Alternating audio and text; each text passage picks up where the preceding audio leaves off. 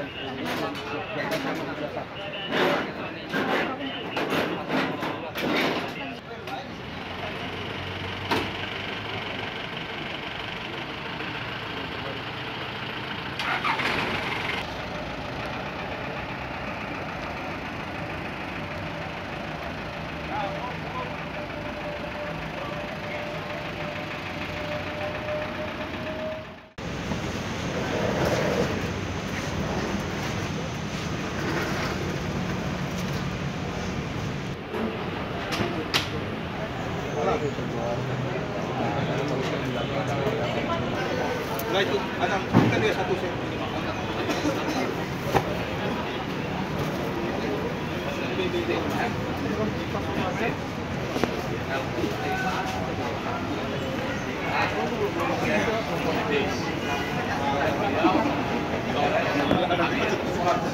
Iya, yang nanya dari sebelah situ dong.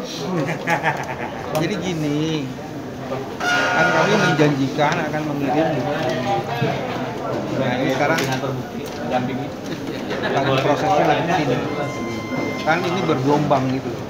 Karena keterbatasan soal mobilisasi, jadi kemudian kan nggak bisa 12 truk dirubukan terus hari ini berarti hampir 4 truk dulu satu truk lagi ada di jalan tapi kemudian karena tutup jam 5 jadi kita putuskan untuk tidak dikirim sekarang.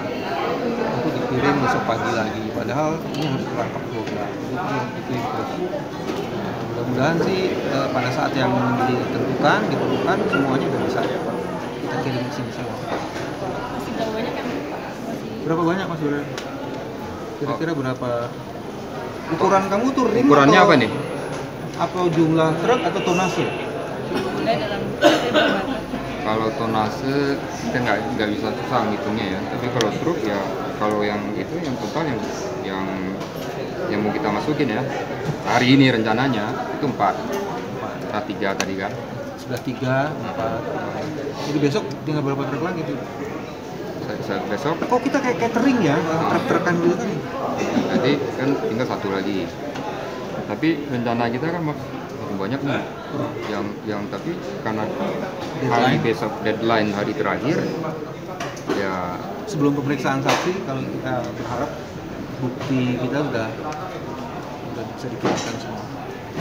Jadi sebenarnya sih kalau melihat dari Mas Dorel mungkin sekitar 5, 6, 7 truk lagi ya. Iya. Yang udah siap satu besok pagi-pagi mungkin setelah itu yang sisanya akan bergelombang sepanjang hari besok. Karena kita jumlahnya kan efisien nih lawyersnya maka kita akan bagi tugas nih. Konsolidasi saksi kan juga harus dilakukan tuh karena kalau hari Rebo kan udah pemeriksaan. Pemeriksaan saksi. Artinya menyiapkan saksi mudah-mudahan besok juga kita surat kita kepada MK akan kita serahkan hasil advis kita dengan LPSK karena ada beberapa opsi untuk perlindungan saksi dari hasil konsultasi itu insya Allah akan kita sampaikan